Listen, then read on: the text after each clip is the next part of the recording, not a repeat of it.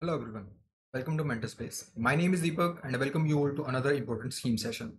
So in today's session, we are going to cover a very important scheme that is New India Literacy Program. Now, this video will be important for your upcoming RBI Grade B as well as NABARD Grade A examination. Let's begin this video. Before starting this video, I would like to request you all to kindly subscribe to the YouTube channel. Also, to receive a free current affair PDF, you can always subscribe to our Telegram channel. Link is in description.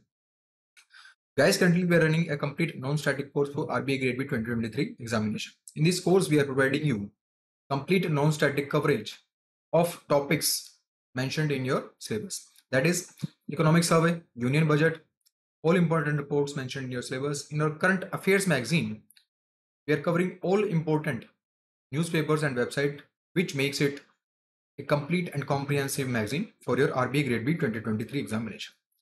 Other than that, with this current mm-hmm. affairs magazine, we are providing you MCQs on weekly basis to practice or check whether you are preparing current affairs on good level or not. Also, in this course, we are providing you a scheme space magazine in which we are covering 200 most important schemes from end to end so that this will be important. This will be helpful for your phase one as well as phase two of your examination. In this course, we are also covering RB website, covering important notification, bulletins, press release, circular, and etc. etc. So that this will be helpful for your examination. Now, if you want to check out this course or enroll in this course, I'll share the link of this course in the video of this lecture. To check out the course, link is in the video of description of this lecture. Okay?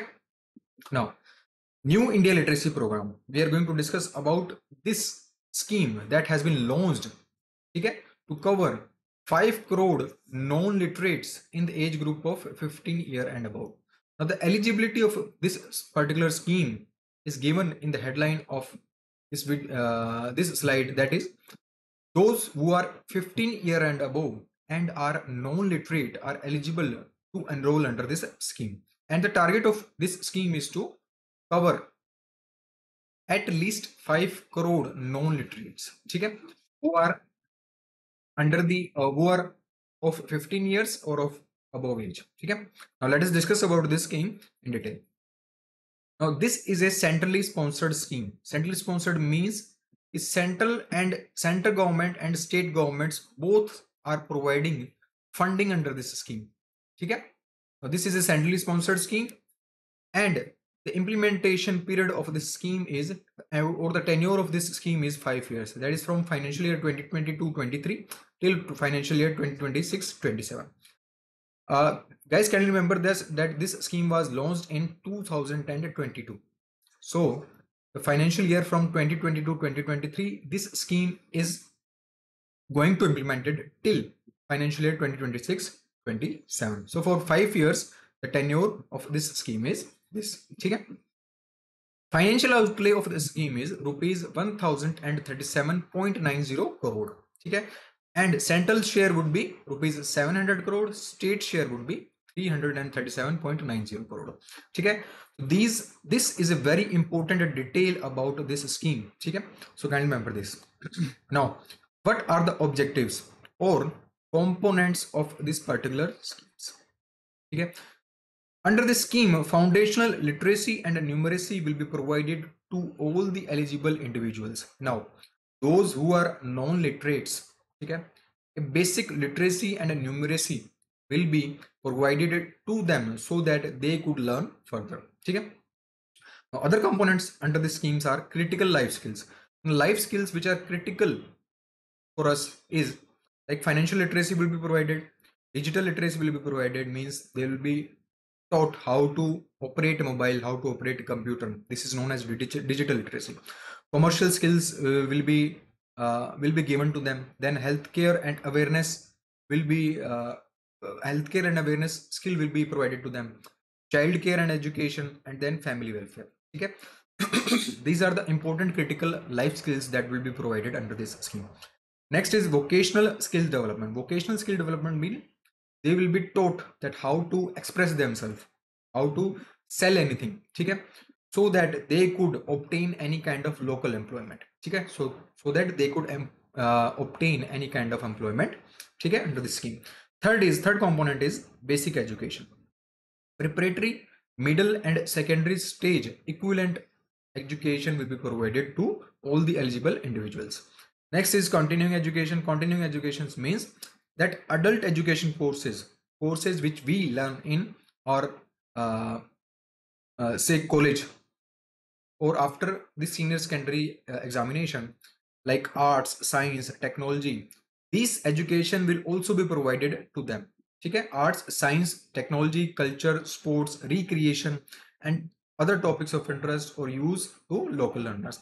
So this will be under the continuing component of this particular scheme. Okay. Now, the target for foundational literacy and numeracy for financial year 2020-27. So the during the tenure, the tenure of this scheme is uh, five year. During the tenure of this particular scheme, five crore learners, or say one crore learner per year, is the target. To enroll them and provide them the basic education or this component that we were discussing in our last slide. So target is to enroll at least 5 crore learners under this scheme. And by using the technology, online teaching, learning and assessment system, in collaboration with National Informatics Center, NCERT and NIOS. NIOS means National Institute of Open Schooling. So with the collaboration of these institutions like National Information Informatics Center, NCERT and NIOS, target under this scheme is to enroll at least 5 crore learner in 5 years of this particular scheme. Now, this scheme will be implemented through volunteerism through online mode.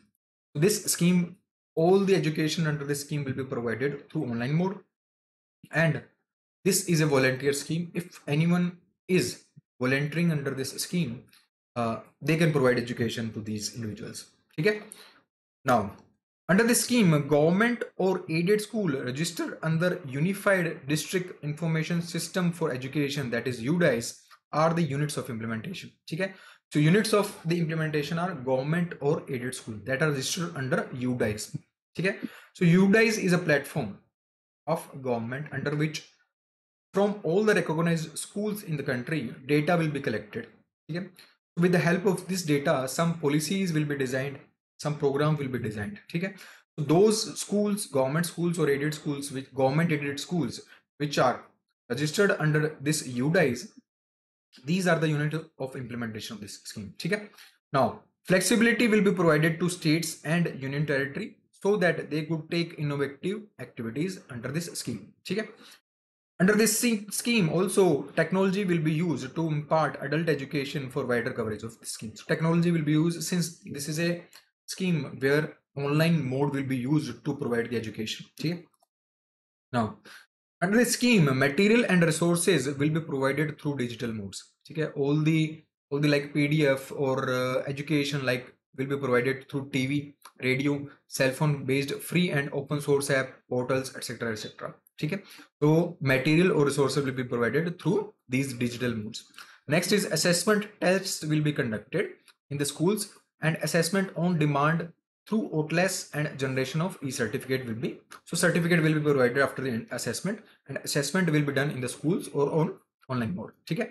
Next is sample achievement survey. So a survey will be conducted every year for randomly 500 to 1000 selected learners from each of the states so that government could know that how this scheme is getting progressed in this scheme or is individuals are getting benefit from this scheme. Okay so a survey will be conducted every year under this scheme.